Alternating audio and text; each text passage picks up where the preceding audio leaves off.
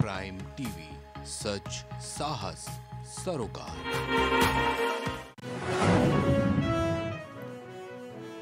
भारत जोड़ो यात्रा पहुँची कस्बा कांग्रेस कार्यकर्ताओं ने किया जोरदार स्वागत।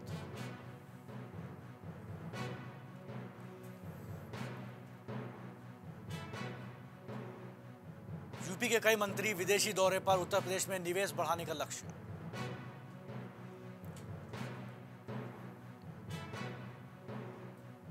मैनपुरी में सपा समर्थकों ने बीजेपी को वोट करने का जताया विरोध। पीड़ित परिवार के साथ सपा समर्थकों ने की मारपीट। अलीगढ़ में शहीद के नाम पर स्टेडियम बनाने की मांग, भारतीय किसान एकता फौजी कार्यकर्ताओं का प्रदर्शन।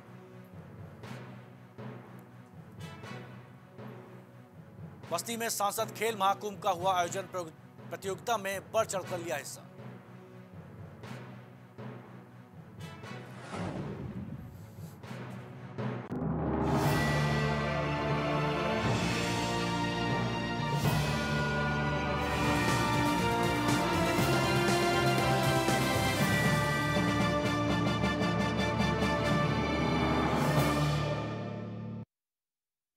नमस्कार, आप देख रहे हैं प्राइम टीवी मैं हूँ मनीष भदौरिया। शुरुआत करते उत्तर प्रदेश की खबरों से। खबर लखनऊ से। है जहाँ फरवरी में होने वाले ग्लोबल इन्वेस्टर समिट के माध्यम से उत्तर प्रदेश की अर्थव्यवस्था में ट्रिलियन डॉलर इकोनॉमिक बनाने के लिए उत्तर प्रदेश सरकार के कई बड़े मंत्री मॉस्को की यात्रा पर निवेशकों को लुभाने का प्रयास किया है।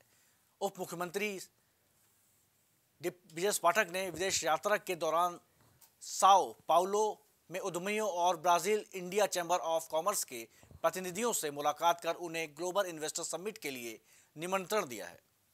इस मुलाकात में कई क्षेत्रों में निवेश को लेकर चर्चा की गई है जिसमें डेयरी कृषि आईटी, फार्मा और अन्य सेक्टर भी शामिल है।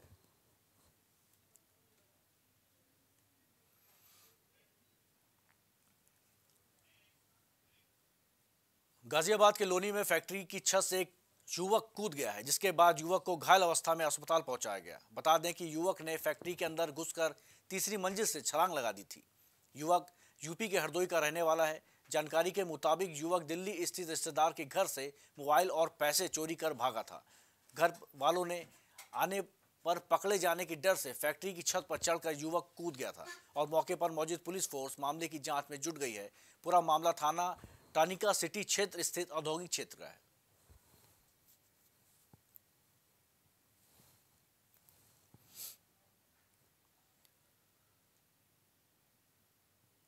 हरदोई में एसपी राजेश द्विवेदी ने थाना स्तर पर निगरानी दस्ते को रवाना किया है, जिसमें सभी 25 थानों पर 50 पुलिसकर्मियों को भेजा गया। बता दें कि जनवरी में एसपी ने निगरानी दस्ता का गठन किया था, जिसे एस सीटर पर नज़र रखने के लिए लगाया गया था। लेकिन एसपी के हरी झंडी दिखाने से पहले एक ऐसा वीडियो वायरल हो गया, जिसमें दो पुलिसकर्मी निगरानी दस्ते की बाइक को पैदल खींचते नज़र आ रहे थे, जिसके चलते अपराध पर अंकुश लगाने के लिए रवाना किए गए निगरानी दस्ते पर ही सवाल उठ खड़े हुए हैं।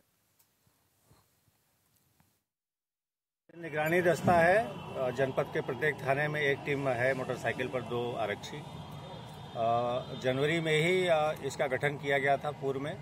तब इसका दायित्व तो खाली जन, अपने जनपद के हिस्ट्री सीटर्स की निगरानी का था जहाँ समय समय पर जाते थे और हिस्ट्री सीटर्स की लोकेशन उनके कार्यों के बारे में सूचनाएँ देते थे।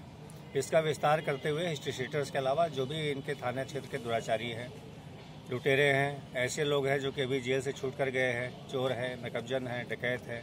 अन्य कोई भी इस तरह की गतिविधियाँ करने वाले लोग हैं, उनको चिन्हित करके एक रजिस्टर बनाया गया है। उसमें नाम लिखा जाएगा। उनकी निगरानी भी करेंगे और जहाँ जो बड़े बदमाश हैं, उनके बारे में खुफिया तरीके से भी उनके नंबर्स वगैरह, उनके सहयोगियों सहयोगियों के नाम सूचित करेंगे हम। कासगंज के गंज डुंडवाला में भारत जोड़ो यात्रा के कस्बा पहुँचने पर जोरदार स्वागत किया गया। वहीं कांग्रेस कार्यकर्ताओं ने सबको माला पहनाकर सम्मानित भी किया है। यात्रा में बड़ी संख्या में पदाधिकारी और समर्थक भी मौजूद रहे। अध्यक्ष योगेश तिवारी ने कहा कि वर्तमान सरकार से हर वर्ग परेशान है। उन्होंने युवाओं के रोज़गार, व्यापारियों के जीएसटी व किसानों के आंदोलन व महिलाओं पर अत्याचार को लेकर सरकार पर तंज कसते हुए कहा कि युवा रोज़गार माँगता है। तो उस पर फर्जी मुकदमे लगाए जाते हैं। साथ ही उन्होंने कहा कि कांग्रेस भारत जोड़ो यात्रा के माध्यम से आम लोगों के बीच जाकर उनकी समस्याओं को सुनने का कार्य कर रही है।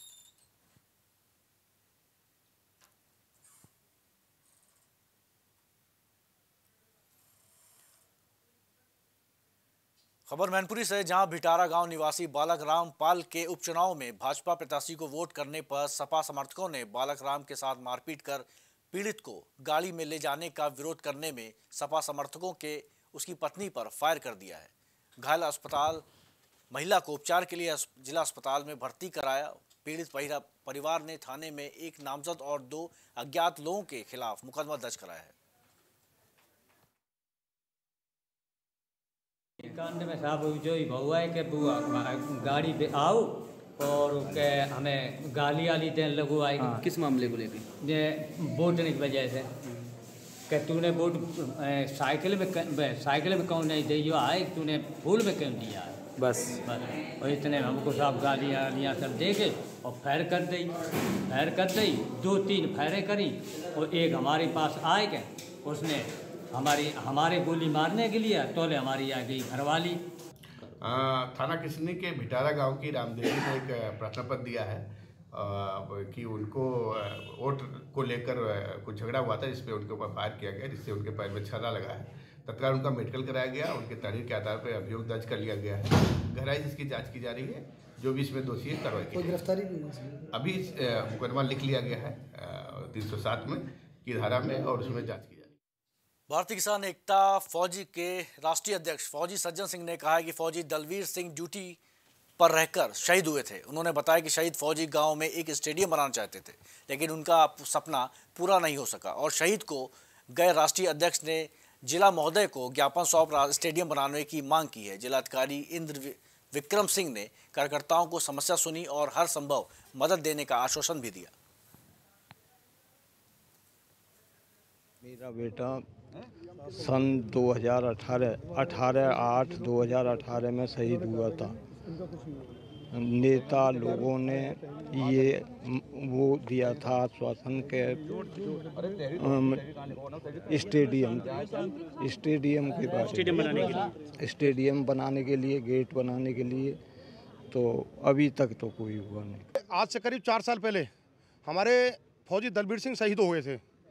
जो कि वहाँ के बीजेपी के विधायक नेता लोग गए, स्टेडियम के लिए बोला गया, उन्होंने बोला, हम स्टेडियम बनवाएँगे।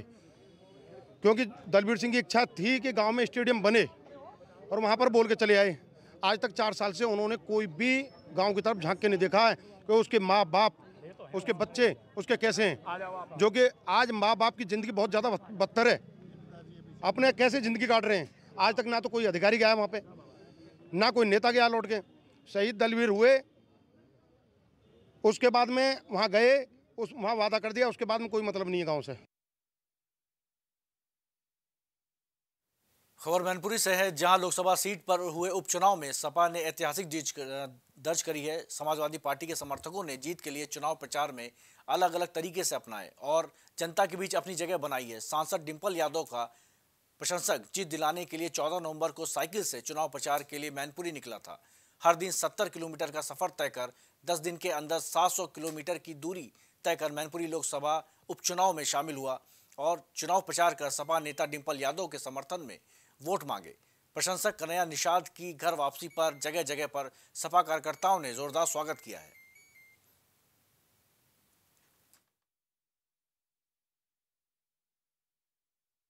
जो भगवान बुद्ध की धरती है, जो बिहार बॉर्डर से लगता है, मैं चौदह नवंबर को अपनी साइकिल यात्रा मैनपुरी का जो लोकसभा का क्षेत्र रहा है, जहाँ से श्रद्धेय नेता हम लोगों के माननीय मुलायम सिंह यादव, बल्कि देश के नेता थे, देश के लिए उन्होंने काम किया था। उनके निधन होने के बाद पाँच दिसंबर को निर्वाचन आयोग के द्वारा चुनाव होना था, चुनाव संपन्न हो गया। मैं दस दिन जो है कि बता दूँ, कुशीनगर से मैनपुरी की दूरी 700 किलोमीटर है। दस दिन में मैंने 70 किलोमीटर एक दिन की दूरी तय करने में अपना समय बनाया था और हिसाब से मैं पहुँच गया दस दिनों में। बस्ती में सांसद खेल महाकुंभ का उद्घाटन किया गया है तो वहीं बस्ती ज़िले के अमर शहीद सत्यवान सिंह स्पोर्ट्स स्टेडियम में सीनियर खो खो टीम और कबड्डी टीम ने भाग लेने पहुँची। इस मौके पर प्रभारी सांसद खेल महाकुंभ महा मनमोहन श्रीवास्तव ने प्राइम टीवी को आयोजन के बारे में जानकारी दी। सांसद खेल महाकुंभ का आयोजन का सीधा सीधा उद्देश्य है कि ग्रामीण क्षेत्रों से लेकर के जो भी हमारे खिलाड़ी हैं, युवा खिलाड़ी हैं और जो भी खेलना चाहते हैं, चाहे वो जो गाँव स्तर के हमारे खिलाड़ी हैं, उनको लिए ब्लॉक पे व्यवस्था है, शहर स्तर के जो खिलाड़ियों के लिए शहर में, शहर का जो अलग अलग क्षेत्र बना दिया गया, हर ब्लॉक वाइज ऐसे क्षेत्र बना दिया गया कि जो गाँव में सबसे नीचे वर्ग का जो व्यक्ति हो, वो भी खेल सके। जो सपना देख, जो भी जिस भी खेल में अपना सपना या अपना भविष्य देखना चाहता है, उसको एक प्लेटफॉर्म देने के लिए सांसद खेल महाकुंभ ये आयोजित किया गया है माननीय सांसद जी द्वारा।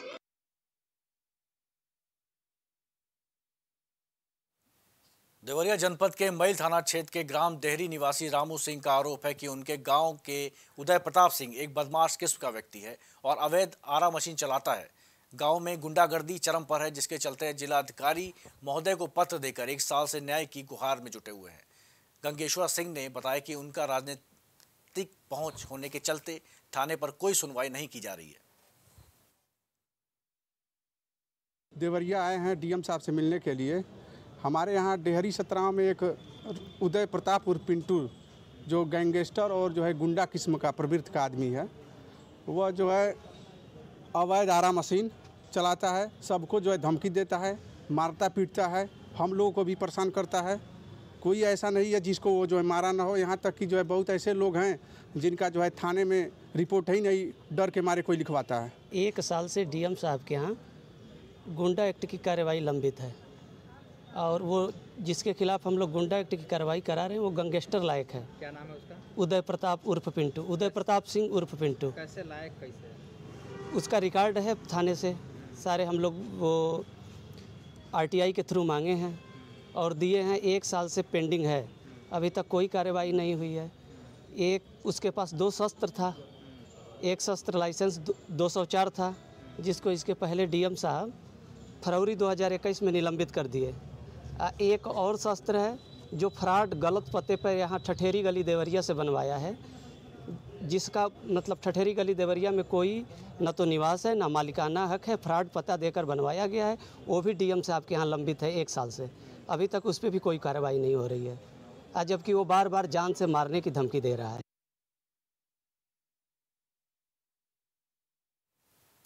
गाजियाबाद के थाना लोनी क्षेत्र के अंतर्गत गोकुलधाम सोसाइटी के रहने वाली एक महिला के साथ दिन दहाड़े बंदूक दिखाकर लूट की वारदात को अंजाम दिया गया है। तो वहीं लूट और चैन स्नेचिंग जैसी घटना थमने का नाम नहीं ले रही। मौके पर लगे सीसीटीवी में पूरी घटना कैद हो गई है। पुलिस घटना की जाँच कर रही है। चैन स्नैचिंग और मोबाइल लूट की सीसीटीवी फुटेज काफ़ी तेज़ी से वायरल हो रही थी। इस फुटेज के आधार पर थाना लोनी के डीएलएफ चौकी अंतर्गत जो घटना घटित हुई है जिसमें पीड़ित महिला से तहरीर प्राप्त कर अभियोग पंजीकृत कर दिया गया है। और घटना के शीघ्र अनावरण के लिए एस एच ओ लोनी के नेतृत्व में टीम का गठन कर दिया गया है। इसमें सर्विलांस टीम की मदद ली जा रही है, आसपास के सी सी और पिछले चयन को पहचान की जा रही है। घटना का शीघ्र ही। जीएसटी विभाग के अधिकारी रजिस्ट्रेशन न कराने वाले व्यापारियों के प्रतिष्ठानों पर सेल्स टैक्स की टीम लगातार छापेमारी कर रही है। गोरखपुर समेत प्रदेश भर में सेल्स टैक्स की टीमें छापेमारी कर रही हैं। छापेमारी से व्यापारी वर्ग में हड़कंप और भय का माहौल के कारण अपनी दुकानें बंद कर दी गई हैं। व्यापारियों ने जीएसटी कार्रवाई पर एक आपात मीटिंग बुलाई। बैठक में व्यापारी परिषद के अध्यक्ष और राज्य मंत्री दर्जा प्राप्त पुष्पदत्त जैन भी सम्मिलित हुए। मीडिया कर्मियों से बात करते हुए राज्य मंत्री दर्जा प्राप्त पुष्पदत्त जैन ने बताया कि व्यापारियों से बात कर उनकी समस्याओं को सीएम योगी से अवगत करा। जल्द समस्या का निस्तारण किया जाएगा। यह सर्वे एक प्रक्रिया है और कर विभाग जो है इसको करता है। आज से नहीं, समय बहुत पहले समय से होता चला है। इसमें जो लोग अनियमितता में पाए जाएँगे और उनका पहले से कुछ सालों से जो है जिनका रिटर्न गड़बड़ है, जो कुछ भी कर नहीं दे रहे हैं और कर की चोरी कर रहे हैं। जो जिनकी लिस्ट बनी हुई है, उन्हीं के यहाँ वो ये सब कार्य, सर्वे का हो रहा है। व्यापार मंडल के लोगों को अगर किसी के साथ कोई सर्वे होता है, वहाँ के व्यापार मंडल के साथ एक बुला करके और उनके साथ कोई भी अन्याय नहीं होगा। मुझे भी अगर कहीं से कोई बुलाता है, कोई बात होती है तो निश्चित रूप से मैं भी वहाँ पर जा कर के उसके साथ अन्याय नहीं होने खबर हमीरपुर से जहाँ पुलिस परेड ग्राउंड में कानून व्यवस्था को मज़बूत करने के उद्देश्य से ग्राम प्रहरियों सम्मेलन आयोजित हुआ है। 200 गाँव के चौकीदारों को जिलाधिकारी डॉक्टर चंद्रभूषण त्रिपाठी और एसपी शुभम पटेल ने ग्राम प्रहरी की नियुक्ति पत्र वितरण किए हैं। जिलाधिकारी ने चौकीदारों को उनके कार्यों और दायित्वों के प्रति जागरूक किया। कार्यक्रम में पुलिस आलाधिकारी समेत बड़ी संख्या में पुलिसकर्मी उपस्थित रहे। हमीरपुर में ग्राम प्रहरियों की आज नियुक्ति का कार्यक्रम था। इसका मुख्य कारण ये था कि बहुत सारे हमारे ग्राम प्रहरी वयोवृद्ध हो चुके थे, कुछ बीमार थे और कुछ विभिन्न कारणों से अपना कार्य छोड़ना चाहते थे। उनके द्वारा दिए गए प्रार्थना पत्र पर और पुलिस आख्याओं पर हम लोगों ने ये पाया कि लगभग 200 के आसपास हमारे ग्राम चौकीदार ऐसे हैं जिनके स्थान पर नए नियुक्त किए जाने हैं। कुछ उनमें ऐसे भी थे जहाँ पे पद रिक्त थे मृत्यु हो गई थी या अन्य कारण थे। तो हम लोगों ने एक अभियान चलाकर 200 ग्राम प्रहरियों के बारे में जाँच पड़ताल कराकर उनकी आज नियुक्ति किया और उनको यहाँ इकट्ठा बुलाकर उनके कार्यों और दायित्वों के बारे में भी उनको बताया भली भांति। जनपद हमीरपुर के अ, 200 वर्ष पूर्ण हो रहे हैं। इस अवसर पर आज दिनांक 12 दिसंबर 2022 को पुलिस लाइन परेड ग्राउंड में 200 नए ग्राम प्रहरी की नियुक्ति पत्र का वितरण किया गया और साथ ही इन सभी ग्राम प्रहरियों का सम्मेलन आयोजित करके सभी को उनके कर्तव्यों के बारे में सूचित किया गया और साथ ही जो शासन के निर्देश हैं उससे भी अवगत कराया गया। इन सभी लोगों से यह अपेक्षा की जा रही है कि ये लोग शासन और प्रशासन की गाँव से जो भी सूचनाएँ आनी हैं उनको समय से उपलब्ध कराते रहेंगे। जिससे कि प्रशासन को समय रहते कार्रवाई करने में पूर्ण सहयोग मिले। खबर हरदोई से जहाँ राज्य आंगनबाड़ी कर्मचारी संघ के नेतृत्व में आंगनबाड़ी कार्यकारिणी के विरोध प्रदर्शन किया है। तेरह सूत्री मांगों को लेकर मुख्यमंत्री को संबोधित ज्ञापन जिला प्रशासन को सौंपा है, जिसमें उन्होंने आंगनबाड़ी कार्यकर्त्रियों और सहकार्यकर्तियों को शासनिक कर्मचारी का दर्जा देने की मांग की है। आंगनबाड़ी कार्यकर्तियों और मुख्य सेविकाओं के समस्त पदों पर पात्र कर्मचारियों की पदोन्नति की जाए। उत्तर प्रदेश में भी बंगाल सरकार की तरह कार्यकर्त्री, सहकार सहा सहायिकाइयों का कार्यालय पचहत्तर वर्ष किया जाए। सेवा अवधि के समय मृत्यु व पर परिवार की आश्रित महिलाओं को योग्यता के अनुसार तत्काल नियुक्ति और पाँच लाख मुआवजा भी मांग की गई है। आंगनबाड़ी कर्मचारी संघ, जिला महामंत्री गजाला कुलसुम ने कार्यकर्ताओं के साथ हो रहे उत्पीड़न बंद होने पर अनिश्चितकालीन प्रदर्शन करने की चेतावनी भी दी है।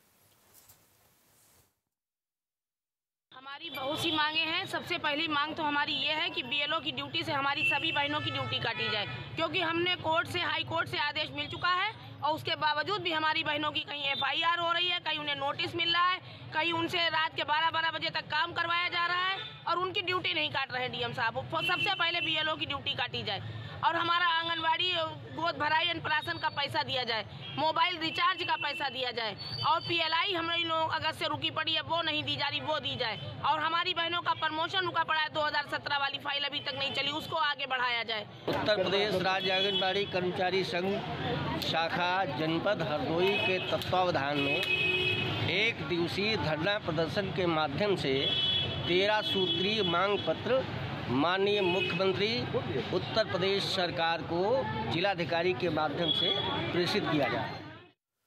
संभल में 11 मोटरसाइकिल और स्कूटी चोरों की गई है, जिसके आरोप में पुलिस ने पाँच आर्थिक चोरों को गिरफ़्तार किया है। बता दें कि चेकिंग अभियान के दौरान आरोपियों को गिरफ़्तार किया गया है। पूरे मामले को लेकर पुलिस क्षेत्राधिकारी प्रदीप तिवारी ने खुलासा करते हुए बताया है कि आरोपी अन्य जनपदों से चोरी की बड़ी वारदातों को अंजाम दिया करते थे। तो वहीं आरोपियों के पास से एक चाकू सहित अवैध तमंचा और ज़िंदा कारतूस भी बरामद हुआ है।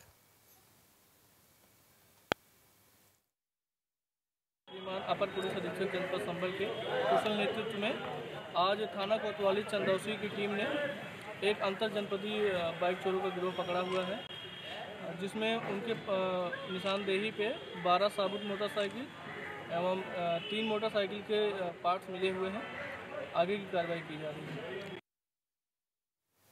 संभल में थाना गुन्नौर पुलिस ने पाँच चोरों को गिरफ़्तार किया है। पुलिस व्यापारी की तहरीर पर चोरों पर मुकदमा दर्ज करता था।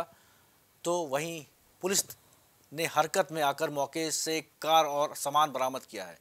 पुलिस ने कार्रवाई करते हुए पाँच आरोपियों को न्यायालय भेज दिया। पूरा मामला थाना गुन्नौर क्षेत्र के कस्बा बबलाला का है।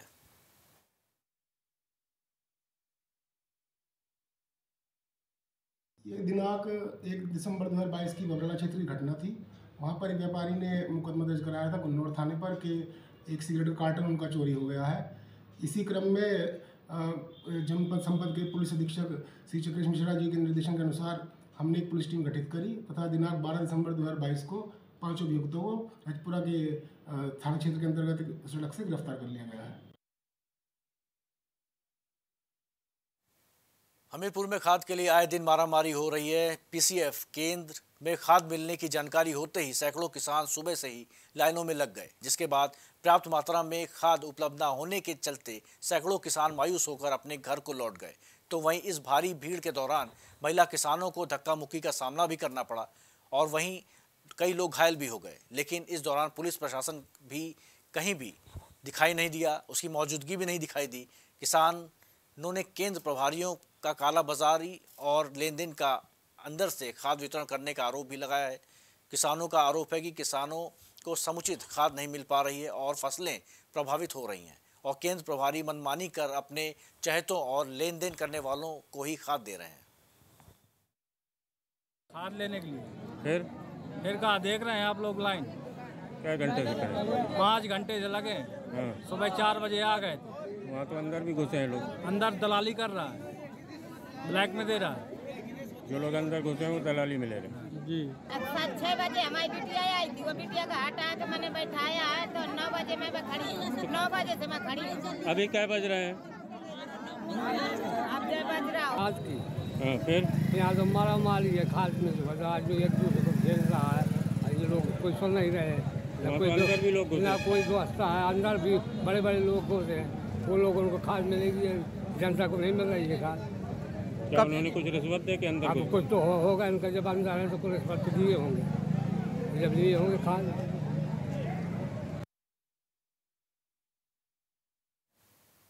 खबर प्रयागराज से जहाँ फलकनाज को आईसीसी अंडर 19 महिला T twenty World Cup team में गेंदबाज के रूप में हिस्सा बनी है। कटजू गर्ल क्रिकेट एकेडमी की छात्रा रही फलकनाज का टीम में चयन होने पर कोच अजय सिंह ने परिवार के का नाम रोशन करने पर बधाई दी है। इससे पहले संगम नगरी के मोहम्मद कैफ, ज्योति यादव, आशीष विस्टन जैदी जैसे नामी क्रिकेटर अंतर्राष्ट्रीय से लेकर राष्ट्रीय स्तर पर प्रयागराज का नाम रोशन कर चुके हैं। प्रयागराज की बेटी फलकनाथ गेंदबाजी के बदौलत चर्चा का विषय बनी हुई हैं। क्रिकेट की दुनिया में अपनी गेंदबाजी के दम पर धमाल मचा रही हैं। शहर के नाम रोशन करने पर इनाया फाउंडेशन के सचिव डॉक्टर मोहम्मद कादिर ने फलक का सम्मान किया। और सीनियर भारतीय महिला क्रिकेट का हिस्सा बनकर भारत का नाम रोशन करेंगी। इसका श्रेय मैं अपने मम्मी, पापा और सर बैठे हैं यूनुस सर और और मेरी मम्मी और भाई लोग हैं। अजय मेरे भाई आए हैं। उनको देना चाहेंगे, क्योंकि इन लोगों ने मुझे बहुत सपोर्ट किया है छोटी छोटी बातों को, जो भी छोटी छोटी चीज़ें रही हैं मेरे लाइफ में स्ट्रगल के। तौर पे तो उन लोग सर लोगों ने बहुत सपोर्ट किया है मुझे। मेहनत किया है फलक ने।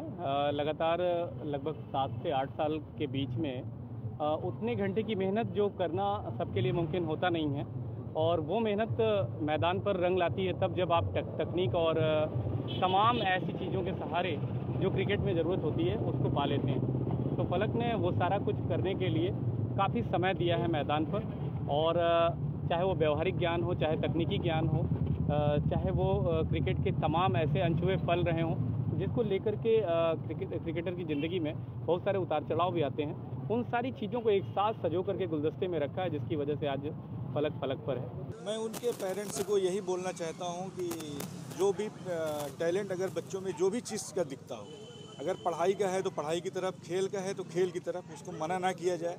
उसको जो है वो प्रोत्साहन किया जाए और सपोर्ट किया जाए।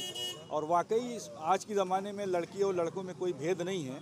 अगर लड़कियाँ जो है, अगर आगे आगे निकलना चाहती हैं, पढ़ना चाहती हैं खेल कूद में आगे जाना चाहती हैं तो आगे जाने दिया जाए और कोई भी खेल ऐसा नहीं है जो लड़कियाँ नहीं कर सकती हैं आज की तारीख। में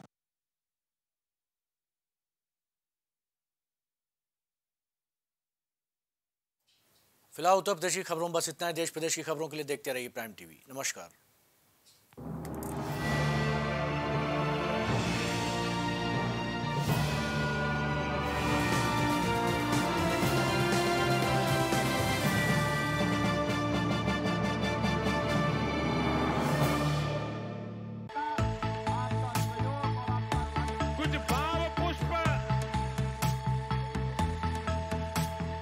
आप देख रहे हैं